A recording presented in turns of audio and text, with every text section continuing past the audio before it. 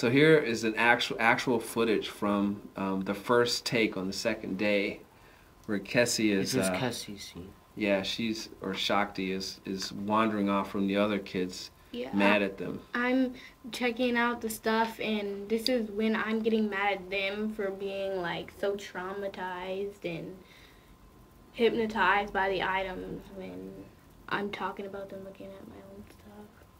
So what, what do you mean hypnotized? What was happening? Like they were so The other characters, um all my brothers and sisters in this were all so the other Star Kids. focused on what they were looking at and it was just so annoying to my character Shock D and Like in this case, uh, I love sushi. Jai is Jai is uh, distracted. and we had to pay for all that sushi too. No, we didn't. Oh, not all of it, but the ones that we opened. We Yeah, opened if we put the other ones back. so the art department does that. They went and made it look like got the sushi, set it up, which was great. Um, And I love sushi. Um, it was really hard not to smile in these parts because some of the things they did were really funny. Um, that's why it may have looked like I was laughing a little bit. a little bit.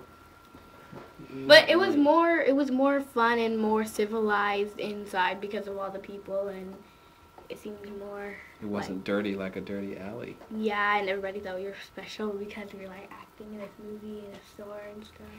And that may have been the case, but the thing is, we were so absorbed with what we were doing, we didn't really notice them. So what's happening in this sequence, what happens in Uwajimaya is that the Star Kids get totally distracted by sushi and stuff. In this case, Jade is completely distracted by all the baked goods. Now Shock D is the only one that's not distracted, so she's mad at them for getting distracted because you know they're being chased by rogue government agents. So here she's like, "What's wrong with you? Get your act together," you know. And then Jade's just like, "Oh," like totally embarrassed. Like, look at her with all that stuff. Um, yeah, but and it was sort of embarrassing to people who didn't know that, like, that we were shooting a movie and they saw her holding all that stuff. And um,